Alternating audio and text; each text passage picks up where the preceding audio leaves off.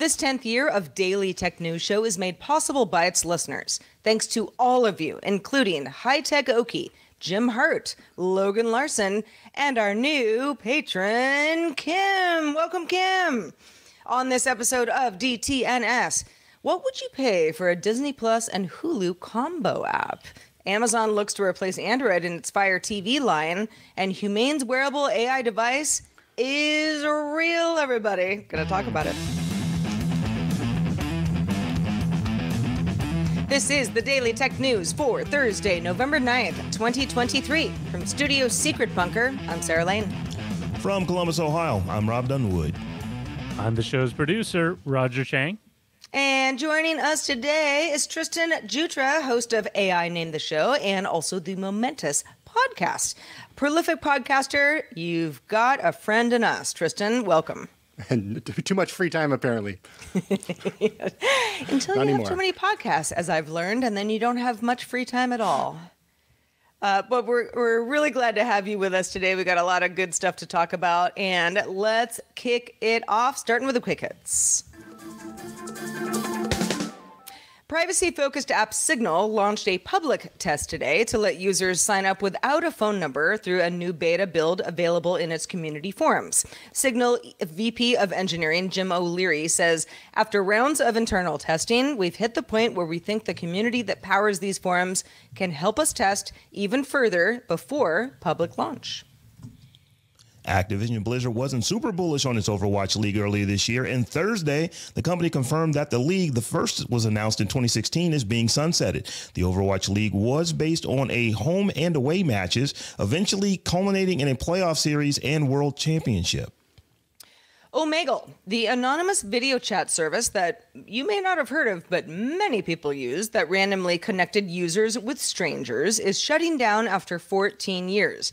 Founder Leif K. Brooks said that operating Omegle is no longer sustainable financially or physiologically, and that fighting to prevent it from being misused was simply too much. Omegle's shutdown comes at a time when strict legislation to prevent things like child sexual exploitation is being introduced by lawmakers, and Omegle did not feel that it could uh, properly mitigate those risks. In its latest quarter, Sony reported operating profit fell 29% between July and September due to weaker performance at its image sensor and financial divisions. Profit for the quarter was 263 billion yen or 1.74 billion dollars, which was below estimates. Sony has also cut the number of live service games it plans to release over the next few years in half. Sony originally planned to have 12 live service titles in the market by its fiscal year ending in March of 2026, and that was up from 3 during its last business year ended this March. Reportedly amidst the PlayStation exec team saying it partnered with Destiny Studio Bungie for rigorous portfolio review processes, the, some projects have been scaled back. Mm-mm. Things happening at Sony. Things also happening at NASA. NASA launched a free on demand streaming service inside the recently updated NASA app. NASA Plus, because of course, what else would it be called, is NASA's first on demand streaming service and available on most uh, major streaming platforms Android, iOS, Apple TV, Fire TV, which we'll talk about later on the show, Roku, and the web. NASA Plus is focused on news and educational content, including updates on current missions, behind the scenes videos, live streams of interesting events, and documentaries and docu-series. All right, Rob, let's talk more about uh, what Disney Plus and Hulu might get us.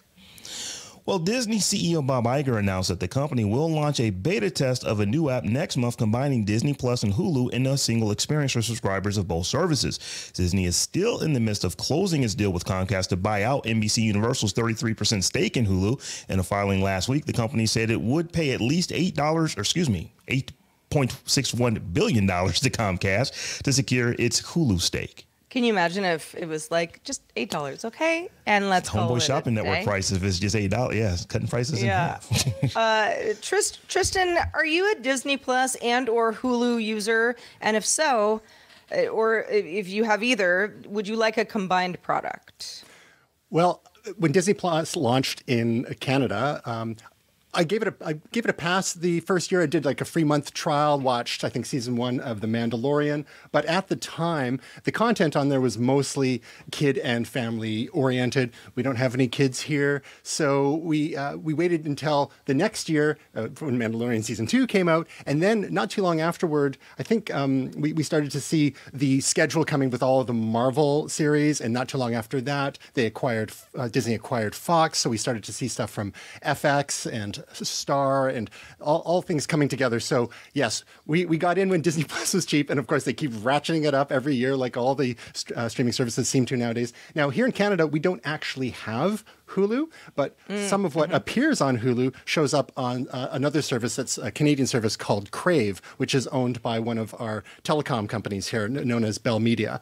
And you can get Crave through um, your uh, cable provider, and it's basically kind of like you get HBO Canada through that and a bunch of other stuff. So uh, I, I am a little confused. Like, so this is going to be for people who subscribe to both Hulu and Disney Plus in the U.S. and they'll get a combined app experience. So if they subscribe to both, they can access Hulu through the Disney Plus app. But if you're Hulu only, you still got to use the whole the the Hulu app. And if you're Disney Plus only, then you still use the Disney Plus app. But there's still just two apps. There's not going to be three. Is that what I'm understanding? That's how I understand it as well. Rob, I know I know you have some thoughts on Disney Plus and Hulu, uh, both having content that you like like? And what what do you think is might be a, a good a good move here by the two companies well, to combine? Com- combining these two apps together could I see it as a good move because there's I, I would imagine that there are quite a few people like me I actually cancel and resubscribe to Disney Plus fairly regularly because there's only certain shows on Disney that I watch. You know, I, I, can only watch a Marvel movie so many times. I can only watch a Disney movie so many times.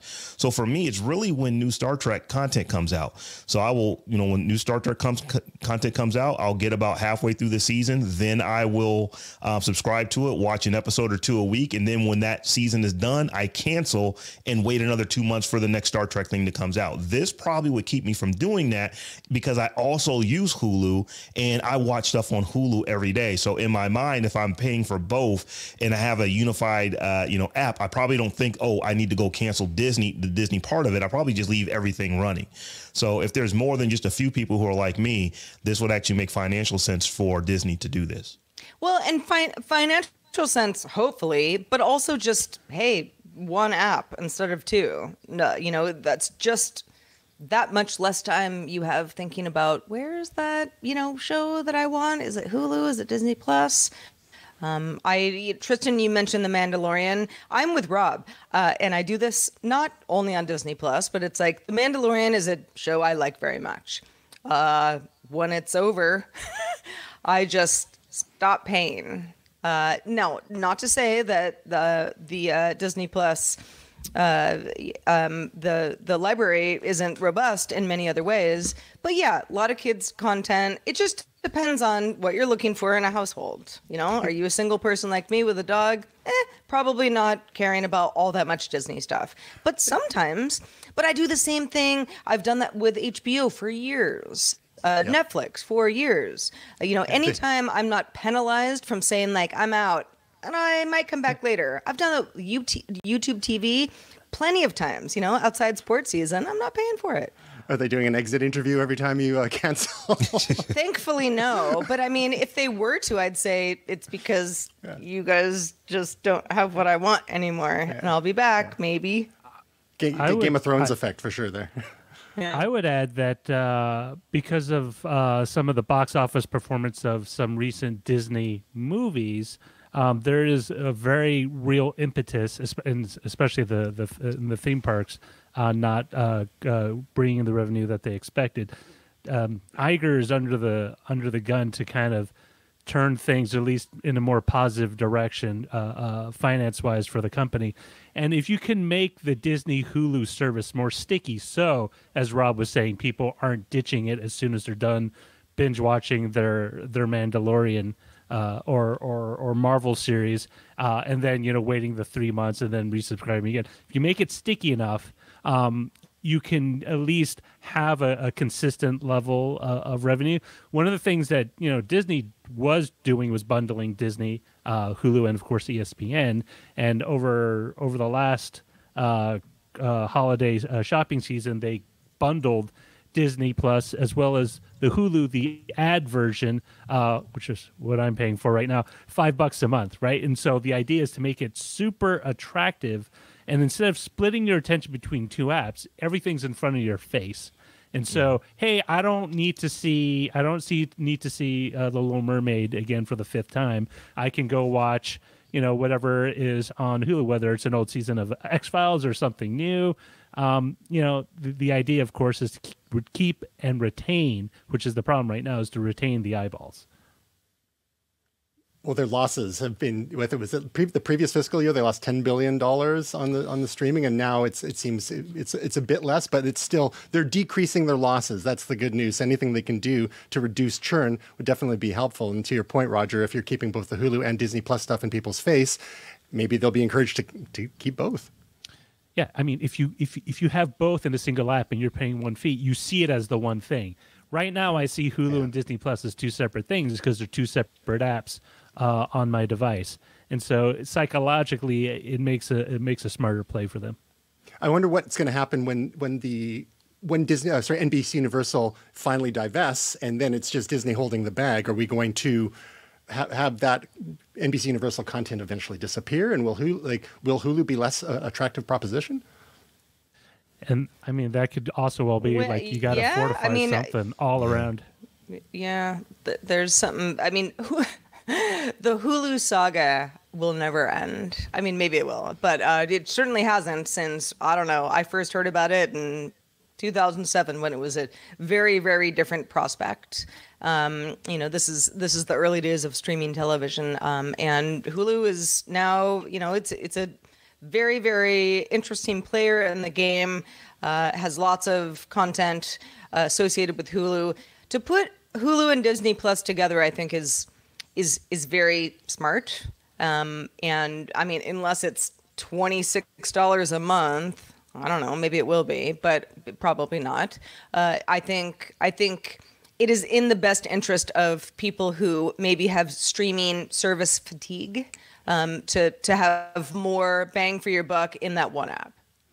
And as a quick little footnote, I, I, I, one of the things I understand is that Disney will be re-architecting things a little bit to, to, for parental controls because once you bring all that Hulu content in there, it's not not of it, not all of it's quite so family friendly and, and whatnot. So mm-hmm. yeah, uh, a bit to do under the hood. Well, Janko Roettgers, uh, writing for Lowpass at lowpass.cc, reports his sources say that Amazon is readying a new operating system to replace Android on its Fire TVs and smart displays and other connected devices that use the Fire TV ecosystem. Reportedly known as Vega internally, the new OS has been tested on Fire TV streaming adapters, and Amazon has told select partners it plans to transition to a new application framework soon, although no exact date, or at least not that one that we know about. Now, Rob, you're in the Fire TV ecosystem, so let's talk about what you like about it and what might benefit from a refresh. So I am. I own a couple of Fire TVs. I have a Fire Stick, and I even somewhere around here there is a Fire tablet. I could honestly care less what they do with the operating system on the television or on the stick if they change from Android to something else on the tablet, my opinion, they will sell significantly less than they sell right now, which is all not all that many. So, um, you know, I, you know, like I said, I, I, I simply don't even use that Android tablet because it doesn't feel like Android. So if it's not Android, there's really no reason for me to ever pick that up or to ever ever purchase that. Now that's just me. There may be people who really love those devices. I know a lot of folks get them for their children because they are so inexpensive and they're and they're fairly rugged. So maybe that that's the play for them. But as a tablet, I just do not like Amazon's version of Android, uh, you know, you know, on those devices, and this would just push me even further away. But what I mean, if you don't like Android on, uh, you know, it, the Amazon version of of Fire Android, uh, you know, what who's to say that the next generation, you know, known as Vega, apparently might not be better. Could be. I just wouldn't bet. I just Rob's I like, trust me, I just um, don't want I, it. I've, I've seen Amazon do these things before, and you know, like you know, it's like I, I don't believe what you say because I see what you've done. It's it's, I I just I don't know that I would trust that. So um, you know, Android is a pretty solid operating system. It doesn't feel like Android when you're running it on a Fire tablet. So Hmm. maybe maybe maybe you're right, Sarah. Maybe the fact that they if they do just completely move away from Android and make it something else, but now you you know you you got to you now got to compete with these giant behemoths called Android and called iOS. I just I don't know that that's going to work for them. Uh, Tristan, what do you think? What do you think about uh, you know Amazon's own version of Android? Do you have experience with the Fire TV uh, ecosystem? Well, not so much the Fire TV ecosystem in our household, since we're pretty in the bag for Apple, so we've got Apple TVs all over the place. But when the Fire, the first Fire uh, tablet came out, uh, I think it was it was the, the Kindle, the original Kindle tablet, and it was um, after like they because I'd bought for my wife Stephanie the original Kindle. I came down to the states to get it, and you know, that was one with the keyboard and everything. It was wild. We still have it in a drawer somewhere. But then the first the um, the, the Kindle tablet came out that was basically had a, was running a nerfed version of Android. It was I'm not even sure if they called it Fire OS at the time. I think it was a Kindle Fire tablet. It was a little one, and it was fine. Except it was weird. Like you know, to Rob's point, it's Android, but it's kind of not because you didn't have access to the full Android ecosystem at that point. So um, you know, I'm not sure, not having had direct experience with what's happening on the Fire Sticks and the Fire TVs. It, but the way I see it, though, is, is this is maybe going to further fragment things. I mean, they, are they are they getting not invented here syndrome? Um, there's you know what, why not? Hey, hit up Tizen, uh, Samsung. Maybe they got a good deal on Tizen right now. But I, I, I see. Yeah. I, but I, I get it from a strategic point of view, wanting to own the whole stack. Speaking of alternative OSs, Yeah, exactly. But you know, just like with Apple and Tim Cook saying, "Oh, we want to we want to own all our key you know components of our our key technologies and our products," maybe um, Andy Jassy is thinking the, the same thing when it when it comes to Amazon. Like, why are we relying on a third party operating system that we have to customize when we can build our own the from the ground up? And maybe it'll let us do more data mining than Android lets us. I mean, I'm I I like to think I'm not an Amazon apologist of any kind, but if any company needs its own OS, it's Amazon. Well, I mean, it's also Google and Apple and you know, it, you know, the variety of other companies, but it's also Amazon. I'm frankly shocked uh, that we haven't been talking about this until now. Now, not to say that you know, all of a sudden Fire TVs are going to be running, uh, you know, Amazon OS or whatever. Um, but it does sound like the company feels that they've probably gotten enough feedback from, like what you said, Rob, is like it's fine, but it's not anything great. You know, it's like a you know Amazon forked version of Android that you know is is just not going to impress anybody. And Amazon is a company that can that can reimagine this. I, I'll be interested to see where it goes. especially if they do something interesting like um, LG, uh, how they adapted WebOS. It was, it's quite a different interface. I mean, most of what we're seeing on streaming sticks and streaming boxes are just glorified web apps, right? So, let- you know, it would be great to see Amazon do something different. And you're right, Sarah. There's that's there been an OS has been conspicuous by its absence, uh, an Amazon native OS. So. Maybe maybe they were thinking the uh, operating systems were a thing of the past, since you know the, everything is web now, and who knows what the next thing is. Everything. I suspect maybe it's going to be deeper AI integration because they, you know, they've been kind of quiet. I mean, they they invested in Anthropic recently. Uh, they they were kind of ahead of the gate with Alexa, but you know, they their commitment to Alexa has seemed suspect over the last uh, year or so, and they've they've recommitted to it. But maybe they're going to double down, and this will be like the AI TVs. Well, y'all, uh, if you're ever wondering what Tom Merritt thinks the top five technologies are impacting the world of news reporting, uh, because nobody would know better than Tom Merritt, uh, you're going to want to watch Tom's top five this week. This is the show where Tom breaks down the top five things you need to know about technology. News reporting is uh, top of mind this week. Catch it this Friday, youtube.com slash daily tech news show.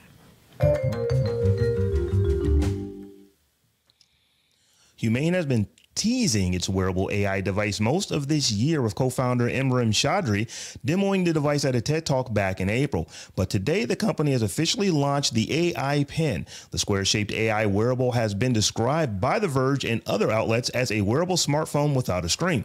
The pin is a square device that clips to your clothes or other surface. The magnetic clip piece also doubles as the battery. It's powered by a Qualcomm Snapdragon processor and comes with a built-in camera, depth and motion sensors, Bluetooth, a speaker called a Personic speaker, and a green laser projector. The green laser projector is used to project visual information onto your hand. Yeah, so the device doesn't automatically record or listen for wake words, as you might expect a device like this would.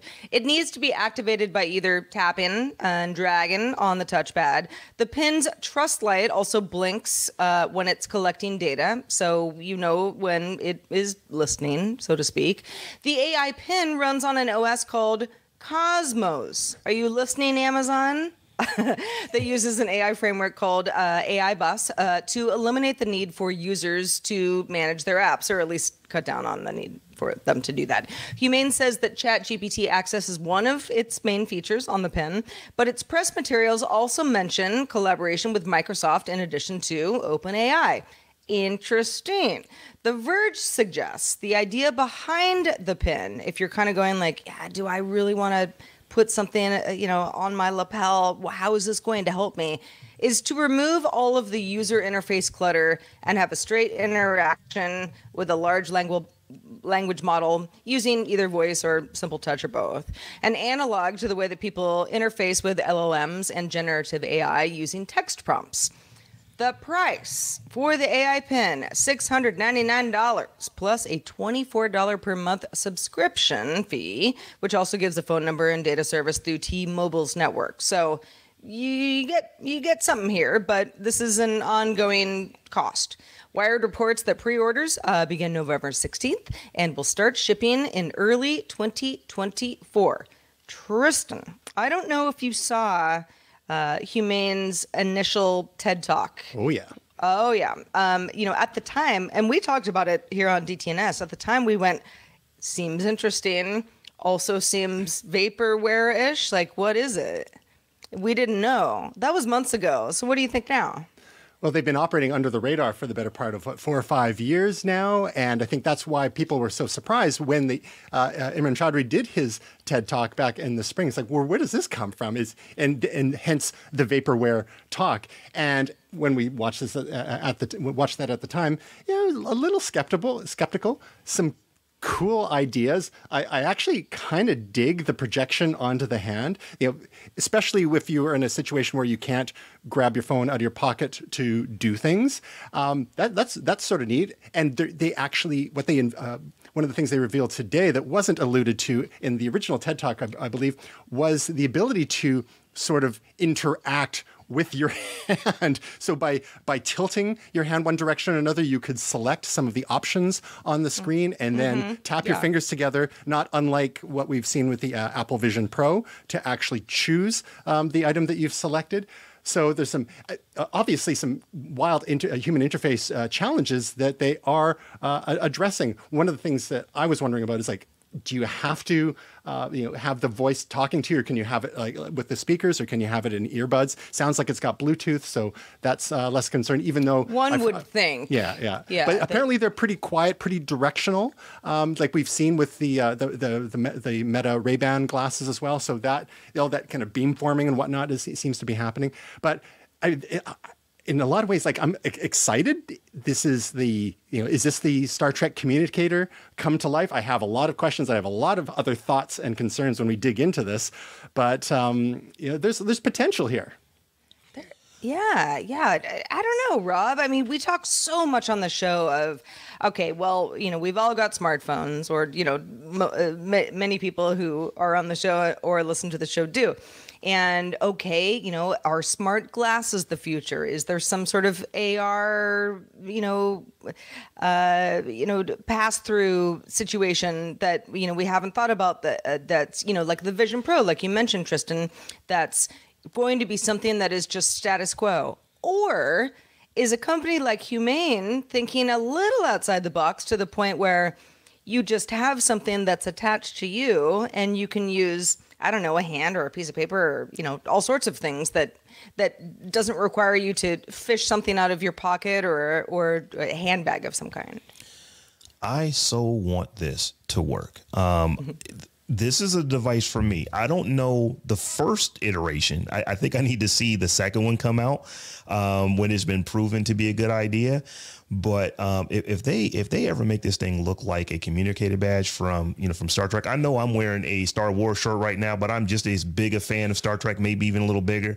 If they make it look like that, I'm getting one just because. Um, so right there with you. Yeah, but this this is really cool technology. The, the fact that you have a device that you can wear and it is your computer. I mean, and if, and if, they make the voice, if they make it the, you know, the, I, I, can't think of her name off the top of my head, but the, the lady who actually did the voice for the, you know, for the bridge computer, uh, you know, Barrett. in TNG. Yeah. If, if, if, if they did that, yeah, I'm I, am i am just getting one. But uh, this is really really cool technology, and you know the, the, fact that you could you know just you know you get a message you need to see it real quick. You hold your hand, you know you know close to your chest, and you just read, and then and, and you, then you're done while you're walking down the street. I am really into this technology. I just hope that it actually works and they can bring this to fruition, and you know, and, it's going to get some mass adoption.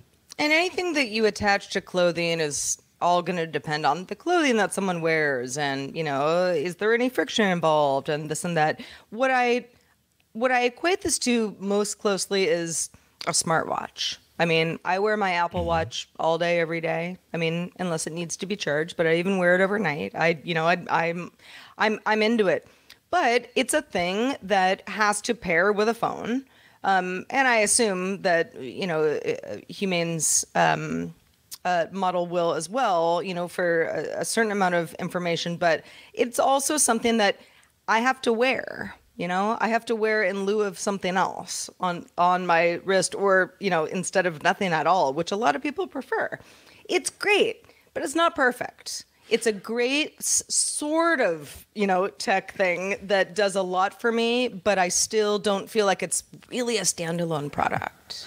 Well, if it was good enough for all those runway models at Paris Fashion Week, Sarah, you know, we, we should be able to well, yeah, figure I know, it out. You know, who am I? who am I? It, and it, now it seems like Humane has thought through some of the practicalities. One of my concerns out of the gate when I first saw the original uh, uh demo uh, at the TED Talk was like, well, if, is this a clip? Is this a pocket? What if you don't have, wear a shirt with a pocket? I wear turtlenecks in the winter. Mm-hmm, How's that mm-hmm. going to work? But they do have a wide variety of accessories. Some are included, some are add-ons so they're coming out of the gate with a whole e- uh, accessory ecosystem, you know, a la GoPro and and others, where that's where the margins are, right? So you for your six ninety nine US, you get the AI pin, you get a cable and adapter, you get uh, a you know charge pod, you get an extra battery booster, and so you put the the front goes on the front of the, the front of the device goes on the front of your uh, shirt. The the battery booster goes on the back and it, it, so it's magnetic sticks together nicely. There is a tiny built-in battery so it doesn't lose its state while you're swapping the batteries out. And they did mention in the uh, the launch video with the two co-founders imran chaudhri and bethany bongiorno who are both uh, apple uh, alumni. And, and uh, there's other apple alumni working with them as well. Like ken kocienda uh, who worked uh, quite heavily on the apple keyboard. So these are user interface experts thoughtful design type people. You, you, get a charge case which with it, which looks like a futuristic AirPods charging case. It's like you know, it looks like shiny metal. Um, so they have thought some of the the wearable aspects through. There's also an optional clip for uh, to attach to different types of clothing or handbags. It's rotatable. There's a latch for thinner, delicate uh, clothing for or for workout wear, and there's different shields to customize the front. So you could do different colors on there. So Rob, you could designate your uh, your rank in Starfleet uh, perhaps with by your choice of color. but the price, I like the price up front, sure. I know, you know, first generation. I know. Yeah. We kind of but glossed over that through this yeah. entire conversation. The price is it's high and listen have, you know yeah. early adopters you know they're gonna adopt um i you know the, it, the price gives me pause uh, i want someone to try it out and then tell me that I need Yeah. it. Uh, quite frankly, the upfront pr- price concerns me less than the $24 per month each and every month for a separate cell phone plan with, with T-Mobile. I mean, I get that this is not attached to your phone, so it's you can't do like an add-on 5 or $10 a month plan like you can do with iPads or Apple Watches through some carriers, but that's a heavy lift if you're already paying for uh, a cell phone plan. But you know, it's unlimited talk, text, and data. It's got cloud storage, so it's more than just the cell access through T-Mobile. Uh, no details for Canada yet, but ugh, if it was if it was ten dollars a month, maybe even fifteen, that would be a little easier to swallow. But an extra, you know, almost twenty five bucks a month, uh, I don't know about that. It also, this is something that I went through with my Apple Watch. Again, apples and oranges. But at first, I I did pay for a cell plan uh, because I thought, you know, let, let, let's see how often I need it. The answer was kind of never because it's just so rare that I don't have my phone with me to pair to. It- you know, it just, some people are like, oh, I'd love to not take my phone on, you know, my next jog, you know, out the front door. I just have it with me. You know, I want to take photos, and you know, there's so many, so many reasons to do that. So I, I'll, I'll love to see uh, how many people find a subscription like this worth the money. Um, and Tristan, uh, we're counting on you. So you let us know how it goes. Well, they. I if- I'm sure we got to wrap it up. We've got lots more thoughts on this, and Tasia and I will be digging into it on AI Name the Show next week as well. But I mean, are we? Is this take take us into an AI fueled dystopia where we've got these things on us all the time with their, even with their safety lights? Oh, I think I think we're already in that dystopia. Uh, it just it you know let's just talk about how far it goes. Um, but Tristan, you did mention AI named the show um, that you uh, and and Tasia Custode uh, host together, and I know you've got other stuff going on. So let folks know where they can keep up with your work. So you can follow AI, uh, us at AI Name This We have new episodes drop uh, every Friday, midday Pacific time. And Tasia and I also co-host uh, another show called Momentous Live that usually we that live streams on Tuesdays and then the podcast version comes out a couple days later and we get get around to it. And that's just like general tech. It's like it's like a it's like a low rent version of this, but just once a week. And that's at Oh, momentous.tv. Don't sell yourself short. Come on. You know, AI named it after all. Well, we're so happy to have you on the show. Thank you so much. Uh, hope to have you again soon. Uh, just a reminder to patrons stick around because we have an extended show, Good Day Internet, where we talk about more stuff. Today, we're going to talk about what Microsoft wants you to know, or at least wants to know about you when you ditch OneDrive, if you do. But just a reminder, our show is live. DTNS is live Monday through Friday, 4 p.m. Eastern, 2100 UTC, and you can find out more at dailytechnewsshow.com slash live. We are off tomorrow for the Veterans Day holiday in the U.S., but we will be back on Monday with Allison Sheridan joining us. Don't miss it. Have a wonderful holiday, everybody.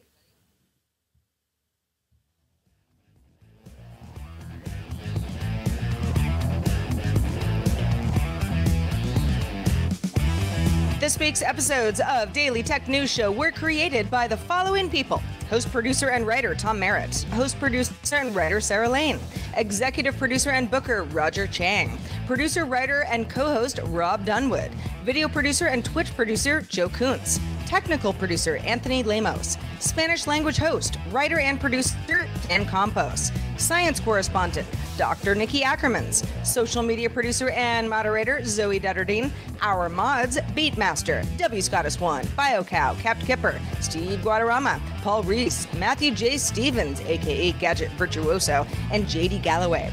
Mod and video hosting by Dan Christensen. Music and art provided by Martin Bell, Dan Lueders, Mustafa A, Acast, and Len Peralta. Acast ad support from Tatiana Matias. Patreon support from Tom McNeil. Contributors for this week's shows include Chris Ashley and Scott Johnson. And guests on this week's show included Tristan Jutras. Thanks to all our patrons who make the show possible. This show is part of the Frog Pants Network. Get more at frogpants.com. Diamond Club hopes you have enjoyed this program.